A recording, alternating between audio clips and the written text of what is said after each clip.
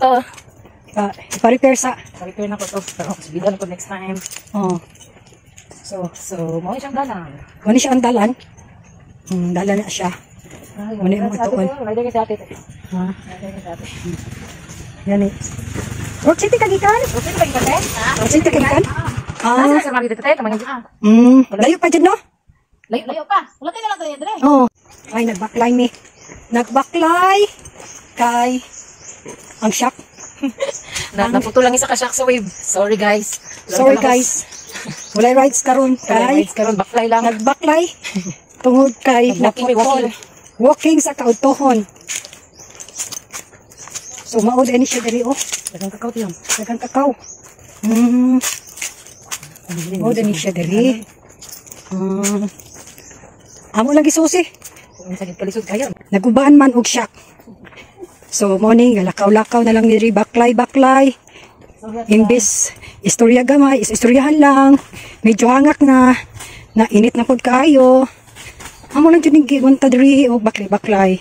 Kay wala man min mahimo kay ang isa ka shock naguba. Naaberya man ang isa ka shock.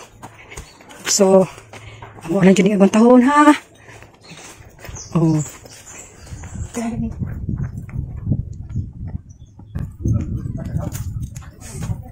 Banak ka tiyam.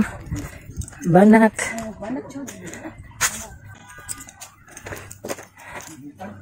Init. Nag-survey of corn. At least naka-survey of corn sa mga pagpakibaklay.